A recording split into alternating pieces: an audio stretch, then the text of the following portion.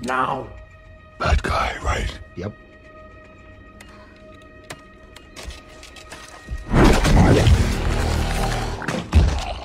You come in here again.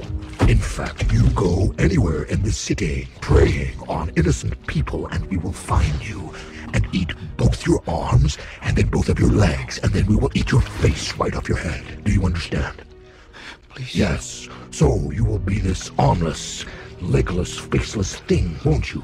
Rolling down the street like a turd in the wind. Do you feel me? What the hell are you? We are Venom. On second thought.